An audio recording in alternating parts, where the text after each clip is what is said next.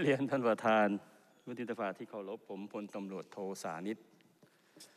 มหาถาวร สมาชิกวุฒิสภาท่านประธานครับที่จริงก็ไม่อยากจะพูดโต้ไปโต้มานะฮะด้วยความเคารพท่านประธาน แล้วก็เคารพเพื่อนสมาชิกด้วยบังเอิญท่านอภิปรายพาดพิงถึงผมนิดนึงว่าสมัยผมเป็นผู้จัดการนครบาลไม่เห็นจับการเลือกตั้ง ท่านเปิดดูตอนนั้นยังไม่มีการเลือกตั้งครับ ผมได้เคยเสนอไว้ส่วนหนึ่งว่า หลักฐานเนี่ยท่านท่าน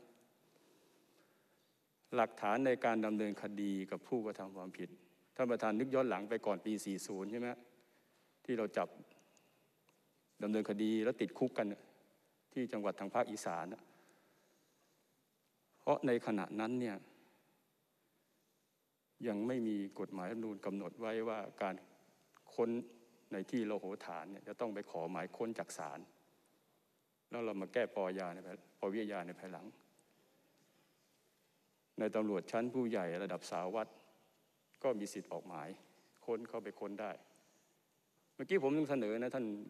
สงสัยท่านไม่อยู่หรือท่านหลับเปล่าไม่รู้ท่านเสรีผมบอกว่าเข้าไปค้นบ้านเขานเนี่ยท่านรู้ไหม ในปัจจุบันเนี่ยที่ไปหาหลักฐานเนี่ยละแค่สั่งให้พิมพ์หมายค้น มันต้องไปขอสารเนี่ย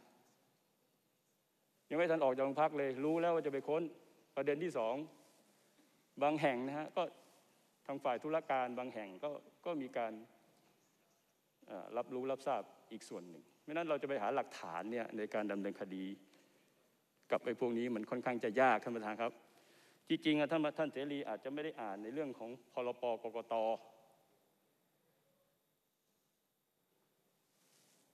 ให้อำนาจไว้ตามเขาเรียกว่ากันไว้เป็นพยานเนี่ยท่านทาน มาตรา 44 45เขาเรียกว่าไม่ต้องดำเนินคดี ถ้าให้ข้อมูลที่เป็นประโยชน์ ส่วนในมาในพรปสสเนี่ยได้มาเลือกตั้งสสเนี่ย ท่านก็เขียนไว้ในนี้ก็มี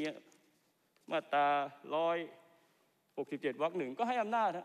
การเป็นพยานนะส่วนได้ได้มาซึ่งสวก็มาตราหกสิบห้าก็เช่นกันนะถามว่ากกตก็พยายามนะฮะท่านประธานเป็นประธานรู้อยู่ดีอยู่ แต่มันบางครั้งมันแค่ภายในจังหวัดในสมัยก่อน ถ้าท่านประธานเป็นประธานกกตอยู่ ก็เรียกว่ากกตจังหวัด เดี๋ยวนี้ก็เรียก ผู้ตรวจอะไรก็แล้วแต่ เพราะฉะนั้นเนี่ยสิ่งที่ผมอยากจะให้ท่านได้ตระหนัก และได้คิดเนี่ยว่าสิ่งที่ท่านเสนอมันก็ยังก็ดีฮะแต่ผมกลัวว่ามันจะไม่ได้ผล ผมในฐานะผู้ปฏิบัติฮะเรื่องการเลือกตั้งเนี่ยท่านท่านเสรี ผมเป็นผู้การนครบาลสามปีห้าสี่ผมไปดำเนินการกับผู้ที่ไปเกี่ยวข้องกับเรื่องนี้ ฝ่ายการเมืองว่าไงป่ะหาว่าผมไปเล่าหรือไปเอาไปนู่นนี่นั่นอะไร ผมก็บอกว่าอยากให้ผมเลือกข้าง ผมบอกผมเลือกข้างไม่ได้ ผมต้องอยู่ข้างประชาชน ถ้าผมเลือกข้างแสดงว่าท่านไปทำผิดกฎหมายเลือกตั้งทำผิดนู่นผิดนี่ ผมก็จับท่านไม่ได้ใช่ไหมผมไปจับได้เฉพาะคนอื่นหรือเปล่า เขาบอกหลังเลือกตั้ง เขาได้เป็นรัฐบาลแน่นอน ผมก็บอกก็ดีฮะถ้าท่านได้เป็นรัฐบาลผมก็ไม่ว่าอะไร แต่ผมต้องทำหน้าที่ของผมตรงไปตรงมาพอหลังเลือกตั้งเขาเป็นรัฐบาลจริง ผมถูกย้ายไปประจำฮะลงพื้นที่ไม่ได้เลย ข้อที่จริงนี่ผมอยากให้ท่านเสรีได้เข้าใจ ได้รับทราบว่า ผมปรารถนาดีนะ ผมไม่ได้มีอะไร รักใครชอบกัน ผมก็อยากเห็นอะไรที่มันดีมากกว่านี้ นี่ดีแล้วนะฮะ ที่ท่านทำมาทั้งหมดทำแบบสอบถามลงพื้นที่ ไปสังเกตการ นั่นคือการทำงานที่ถูกต้องฮะไม่ใช่ว่ายั่งอยู่แต่บนหอคอย